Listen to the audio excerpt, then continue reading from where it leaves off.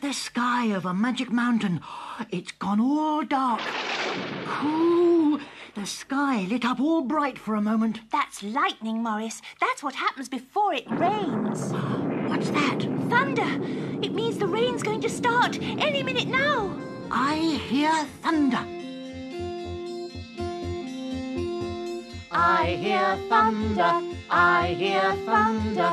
Oh, don't you, oh, don't you.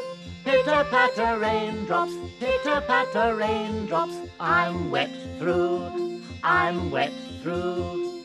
Ah, look, Doris, the rain stopped already. Oh, yes, it was just a shower. Look at the sky now. I see blue skies, I see blue skies. I see blue skies, I see blue skies. Way up the sunshine, way up up the sunshine. Hurry up the sunshine, hurry up the sunshine. I'll soon dry, I'll soon dry. Hooray! The sun's out. Let's go and play. Morris! Doris! Oh, hello, you two. Isn't the sun lovely today? But Jane, you're wet through. Jane's wet through. Jane's wet. It's wet. not funny, Morris. Oh, that's all right, Doris. When I went out, I forgot to take my umbrella, as usual. Oh. And then it poured with rain, and I got soaked. Oh, poor you. Why don't you come and play with me and Morris? Morris? Oh, where's that naughty little hamster gone? Jane, do you remember the last time Morris disappeared? Uh, oh, oh dear. No, I've forgotten, as usual. Well, this story should remind you. Listen.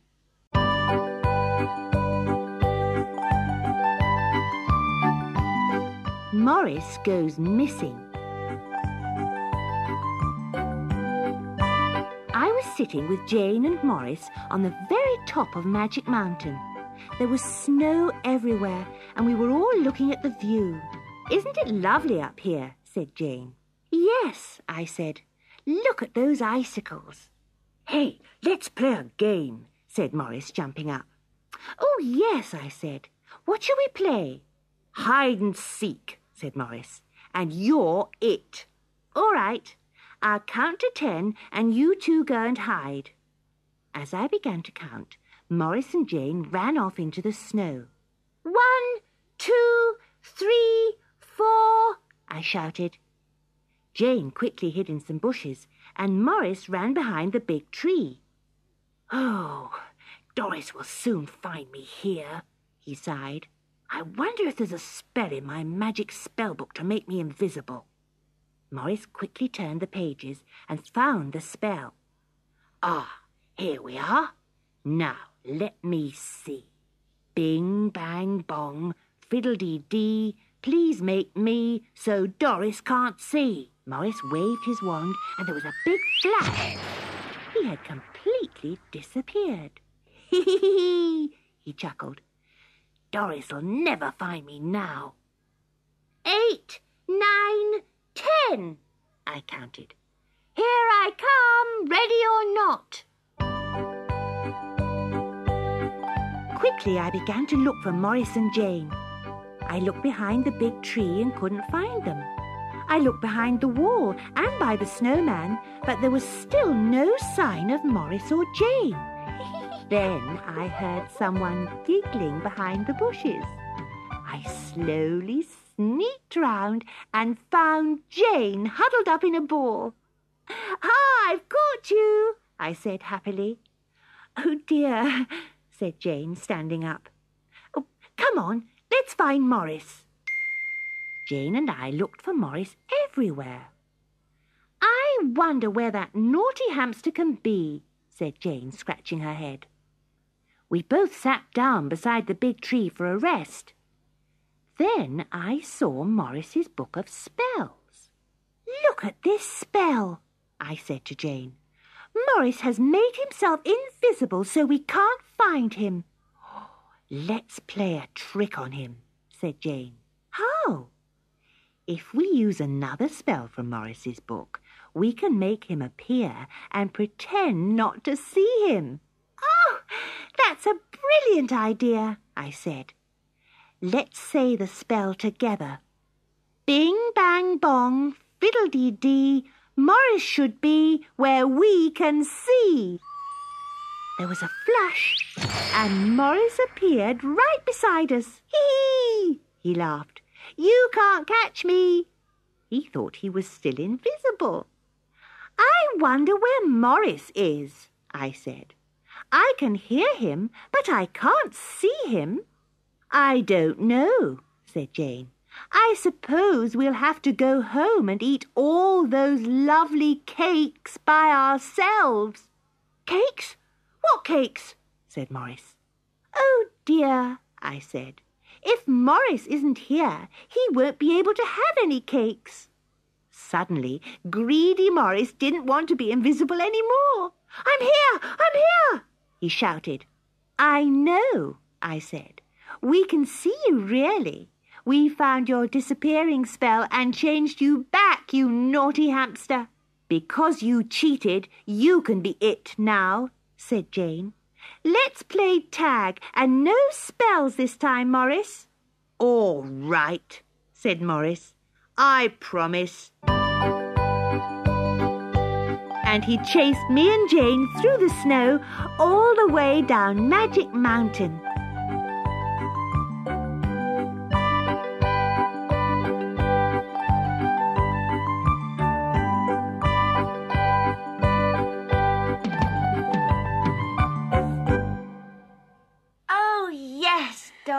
I remember all that snow last winter. Mm-hmm. Didn't we have fun throwing snowballs? Yes, Jane, it was fun.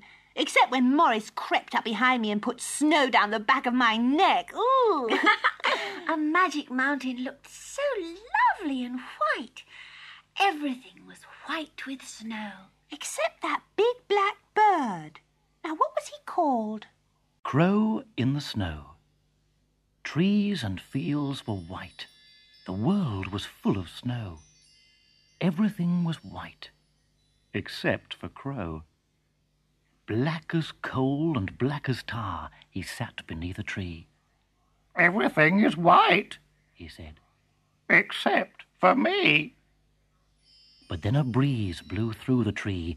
The snow slid down below. Now everything beneath is white, even Crow. Of course, Crow. That was the name of the bird we saw on Magic Mountain. I wonder where he's gone now. Probably flown away. It must have been too cold for him here in the winter. Ah, poor old crow. I know a story about an old crow, but she wasn't a crow really. She was a dear old lady called Jasmin. Shall I tell you about her? Oh, yes, please, Denise. The story's called Jasmin's Autumn Flight.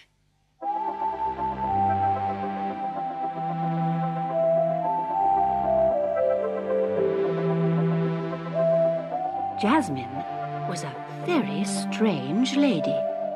Everyone called her the Old Crow because she lived in a little house covered in creepers and surrounded by trees where hundreds and hundreds of birds lived. Jasmin loved the spring and summer when all the birds came into her garden to nest and sing. But autumn was a very sad time of year because all the birds got ready to fly away for the long, cold winter. One autumn day, Jasmin was walking in her garden. The dry leaves crunched under her feet, and the birds twittered and chirped among the golden leaves in the trees. The autumn has come, they said. In a few days, we must fly off to a warmer country. Poor old crow, said the birds, looking down at Jasmin. What a pity she can't come with us. But Jasmin had decided that if birds can fly, so could she. This year, when the birds leave, I shall fly with them. she thought. Soon the birds were gathering in the bare trees ready to leave. Wait! Wait! Called Jasmin. I'm coming too! She clambered up the old oak tree to join them. Hey! There's old Crow up in the tree! shouted a little boy from the road below. Yes! Ha! It's me! she called. I'm flying with the birds to a warmer place! And she flapped her arms as hard as she could. You'll never fly! Screeched a little girl. Just for a moment it looked as though Jasmin was flying. But then she started floating down to the ground like an autumn leaf and disappeared into an enormous pile of leaves. Oh, bother. She said, scrambling out of the leaves. But isn't it lucky it's autumn and I had a soft landing? Then Jasmin heard a very quiet chirping beside her. Oh, Jasmin, said a little bird. I'm so glad you're back. My wing is broken and I couldn't fly off with the other birds. So Jasmin nursed the little bird all through the winter until the spring, when the birds returned to nest and sing in her trees. And Jasmin never tried to fly again.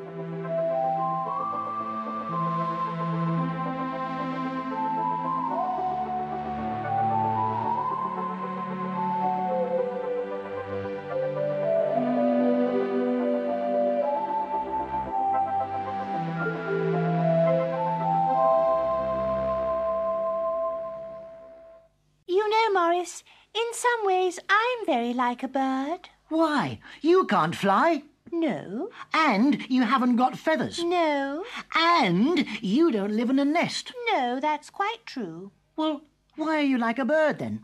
Because I sing so sweetly, just like the robin.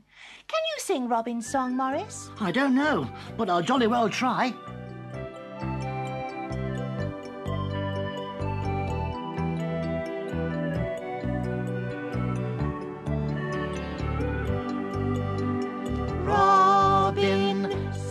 So sweetly when the days were bright. Thanks, thanks for summer, he sang with all his might. Robin sang so sweetly in the autumn days. There are fruits for everyone, let us all give praise. In cold and wintry weather, still you hear his song. Somebody must sing, said Robin, or winter will seem long. When spring came back again, he sang, I told you so. Keep on singing through the winter, it will always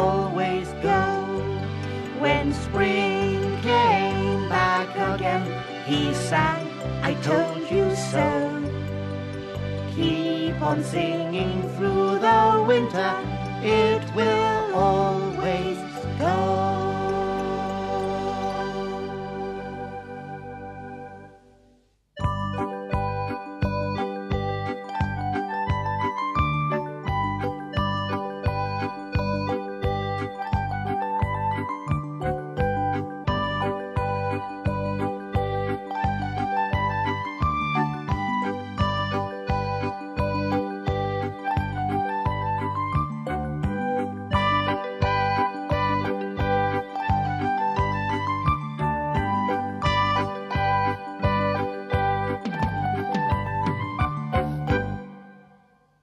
Doris, I'm freezing.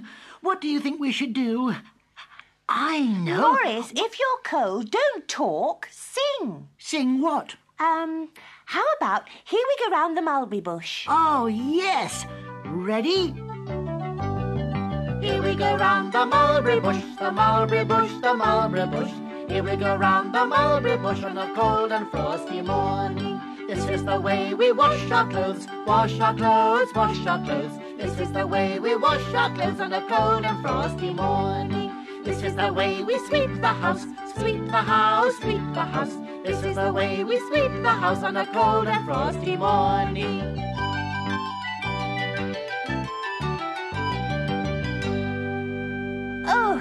Better. I'm warm as toast now. Toast? Can I put butter and jam on you? Oh, don't be silly, Morris. But I feel like being silly. Maybe it's because it's spring. It's not spring, Morris. It's summer. Now settle down. Carol's going to tell us a beautiful story. Oh, goody. What's the story, Carol? It's all about a very little girl called Thumbelina.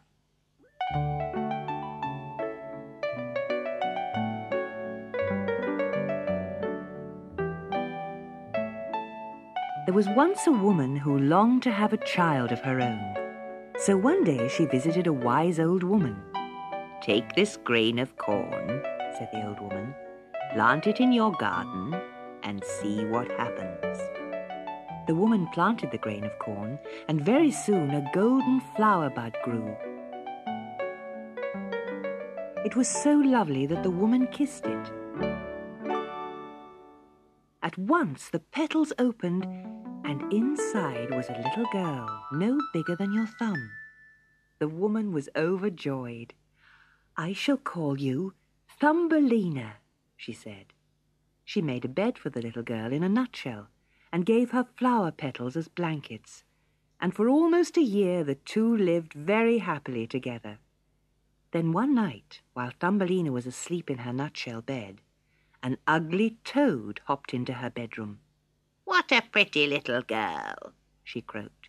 She would make a beautiful wife for my son. And she lifted up the nutshell and hopped back with it to the river bank. She placed the nutshell on a lily pad right in the middle of the river so that Thumbelina could not escape. When Thumbelina woke up, she was horrified to find herself all alone in the middle of a river. The two ugly toads were staring at her. This is my son whom you will marry, said the mother toad. We are making a house in the mud for you to live in. And they swam away, croaking. Thumbelina burst into tears.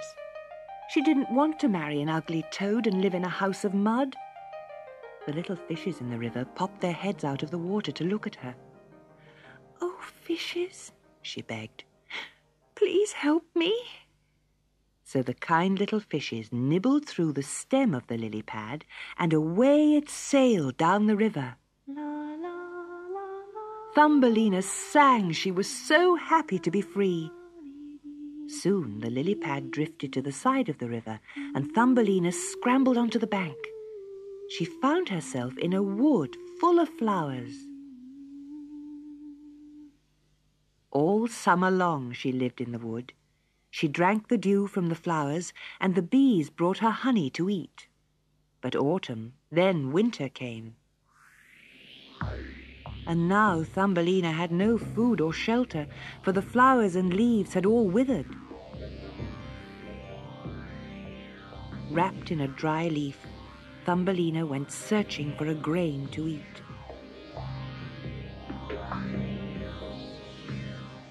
Suddenly, she saw a little house. She rang the bell, and a field mouse came to the door.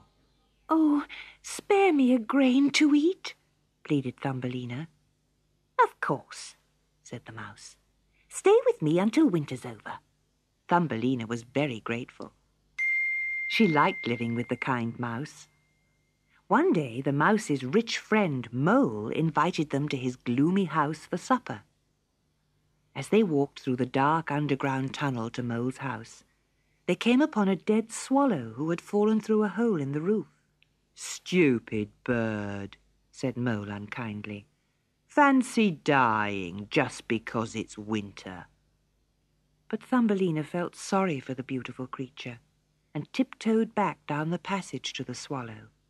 As she knelt beside him, she saw his heart was beating faintly.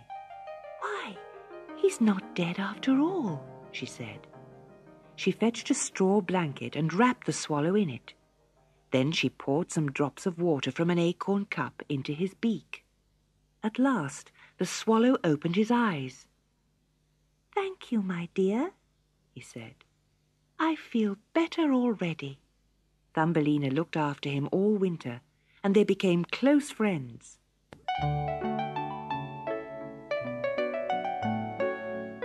One day, when it was nearly spring, the field mouse said to Thumbelina, I have some good news for you, my child. My friend Mole wants to marry you. He will look after you well. But I can't marry him. It would mean living under the ground forever, gasped poor Thumbelina. You ungrateful girl, said the mouse. You shall marry him. That night, when Thumbelina went to feed the swallow, she told him her terrible news. I am so afraid and unhappy, she said. I don't know what to do. I am strong enough to fly now, said the swallow. Come with me. I'll take you away from this dark place. Quietly they cleared the hole in the passage roof, and as the sun rose, Thumbelina and the swallow soared up into the blue sky. They flew and flew until they reached a faraway land. The swallow gently set Thumbelina down in a garden full of beautiful flowers. Hello, said a voice next to her. Thumbelina turned and saw a handsome prince no bigger than herself. Welcome, he said. I am the Prince of the Flowers. Will you stay and be my princess? Thumbelina felt she was home at last. She agreed happily to marry the prince and live in his beautiful flower land. In each flower lived a fairy, and they all brought beautiful wedding presents for Thumbelina. But the prince gave her the best present of all a tiny pair of silver wings so that she could fly with him from flower to flower.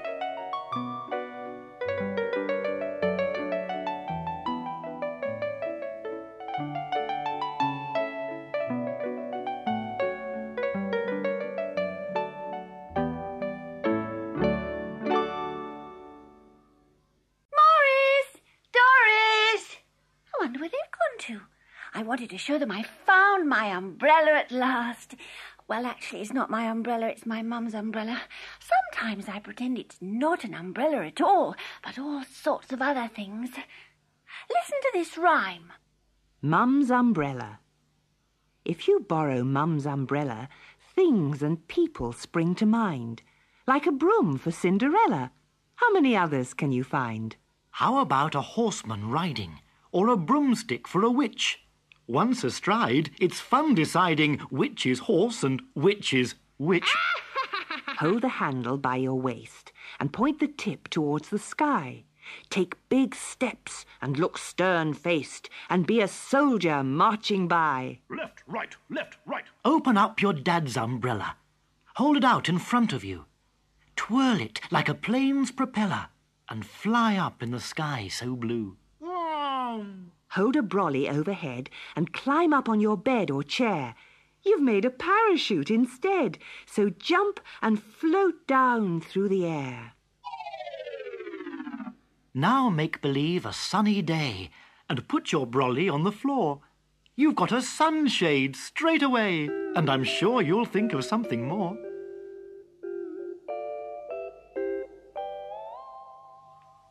Vroom! Look out, Doris! I'm an aeroplane. Hey, Morris, that's my umbrella. Morris, give Jane her umbrella back at once. She loses it quite often enough without you taking it away. Sorry, Jane. Here you are. Thanks, Morris.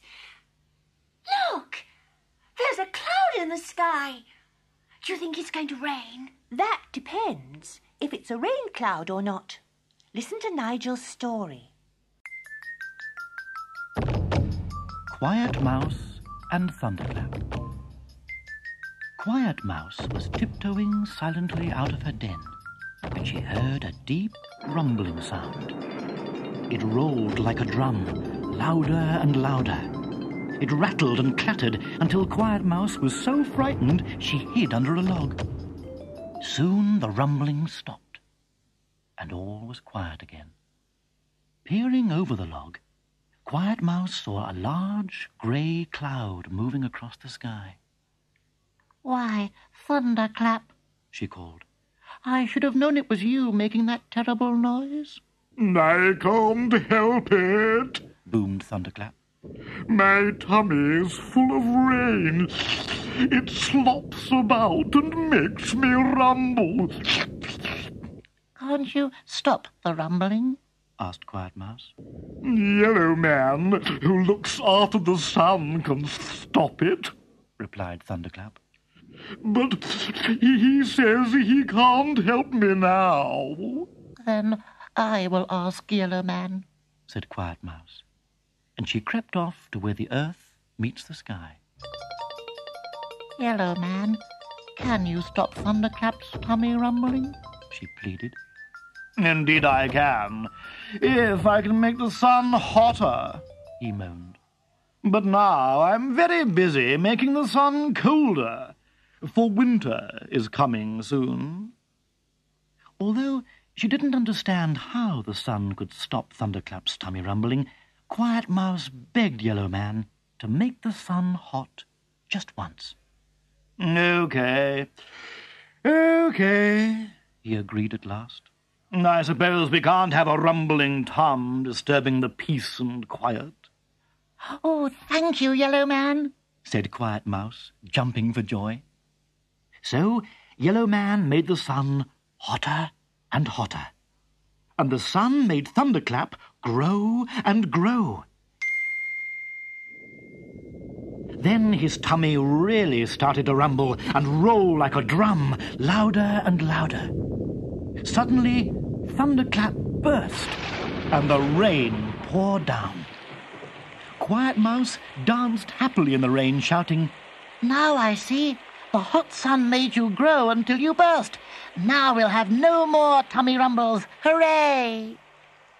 Soon Thunderclap's tummy was empty, and the rain and rumbling stopped. He was now a beautiful white fluffy cloud. Thank you for helping me, he whispered. Now I'll be as quiet as Quiet Mouse. And do you know, he was.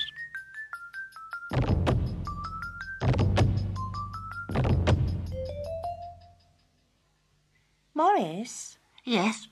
Could you be as quiet as Quiet Mouse? No, no, no, no! It's spring! It's summer! Well, it feels like spring, oh. and spring is the time when all the animals start to sing and dance. Listen to Denise's song.